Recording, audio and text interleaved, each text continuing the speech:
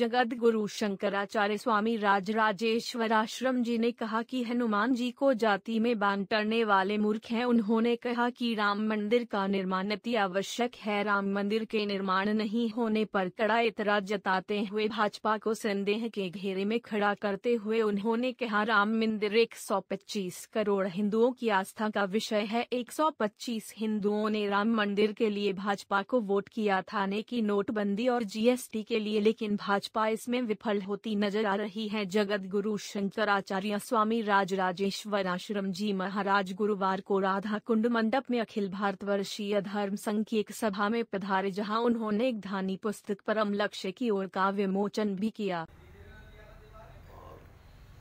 जब तक धर्म सभाएँ होती रहेंगी, लोगों में धार्मिक संस्कार रहेंगे। और ये देश में लोगों में अच्छे संस्कार रहें। तभी समाज भी अच्छी प्रकार से संस्कारित रह सकता है। गुरु जी राम मंदिर को लेकर सियासत तेज हो गई है।